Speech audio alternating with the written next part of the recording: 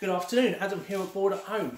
In this week's special episode of Jump In Let's Play, we'll be taking a look at 10 stocking filler presents. These are presents that make for great stocking fillers or Secret Santa for the workplace. So, without further ado, we will jump in in no particular order and show off these games to you.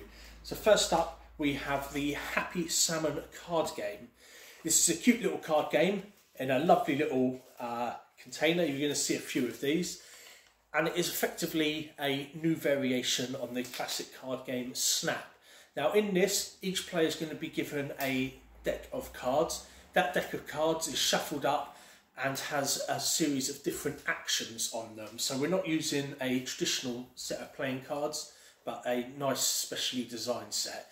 Each card will have different actions such as fist bump, high five, things like that. And players will turn over the top card from their deck and call it out. Anyone that has the same one, they need to pair up to perform the action to get rid of their card. If someone doesn't match, or if someone happens to uh, have one that two other people have already had, they need to get in there first, otherwise, they need to put the card to the bottom and try again. The first player or players to get rid of their cards wins the game. Really fun, nice light game, really quick, a really good active game as well. That is Happy Salmon. Our next one is a game where you'll be working together, and that is a Bandido. This is a firm favourite within the shop, one that we heartily recommend to anyone looking for a little game to take anywhere on the go. In this, you are trying to stop Bandido from escaping his jail cell. The cheeky little guy keeps tunnelling out, and it is up to you lot to get together to work out how to stop him uh, from escaping. You'll do this by laying down tunnel cards, and you'll need to loop his tunnels back on themselves or close them off completely.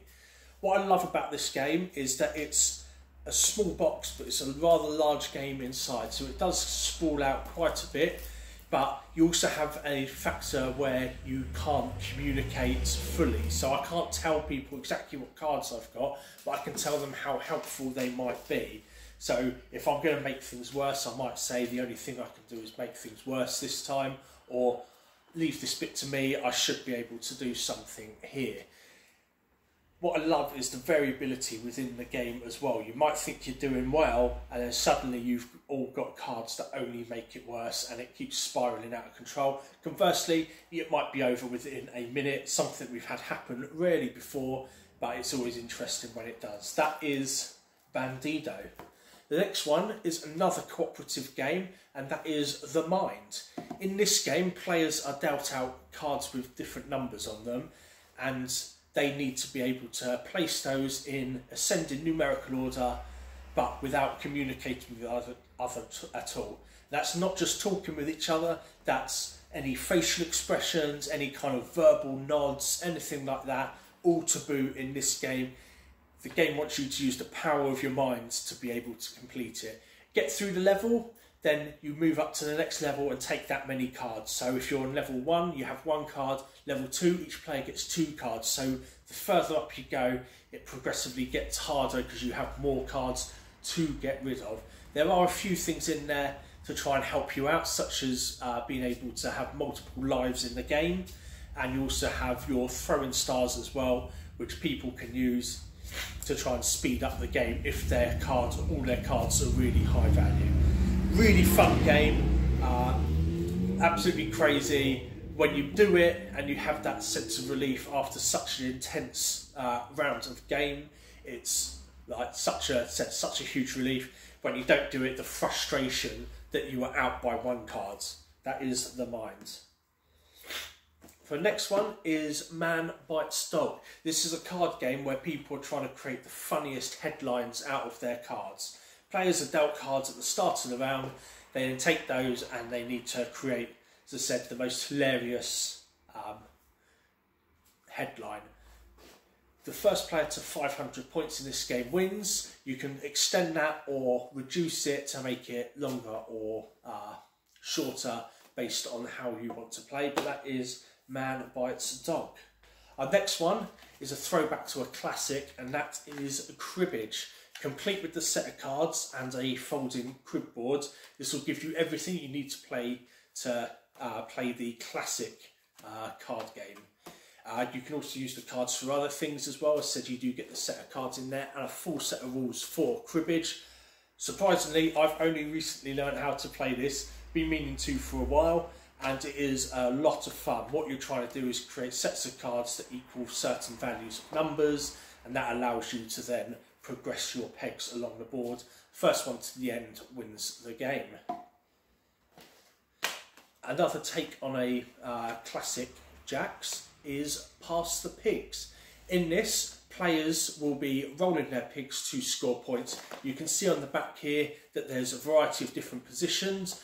It has an element of push your luck because you don't want to go too far, otherwise you might roll the wrong uh, pigs and have a pig out. That is Pass the Pigs.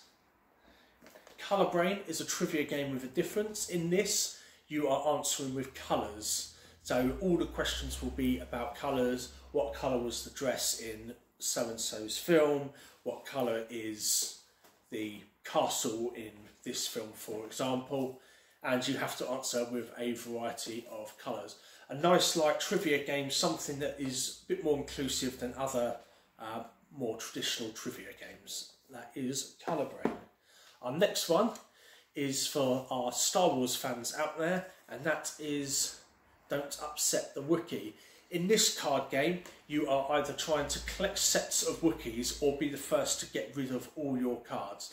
It's a really fast-paced, light little game based upon another game called No Llamas, if you have played that before. And like Happy Salmon, you've got this lovely little uh, package for it. This time it is Chewbacca. Finally, uh, the ultimate stocking filler in our shop. This one has been insanely popular, and that is the wooden puzzles. So we've got a set of three here, wooden puzzles. They are 195 each, or we do all three for five pounds. You have hard, harder, and hardest in the levels, if you can see there. And with these, uh, you if you've played these sort of little things before, you need to find a way to take them apart and be able to put them back together again. Furiously frustrating, proper little head scratchers. These are perfect for anyone that likes a good little puzzle or riddle. That is everything here today, guys. I hope that you enjoyed. If you have any questions about any of these games or you want to know about anything else that we do in the shop, please visit us on the high street. We do have extended opening hours for the coming week leading up to Christmas. You can find those on our social media. I will pop them at the end of this video as well. As always guys, it's a pleasure and I hope you have a lovely time and Merry Christmas to you all. Thank you.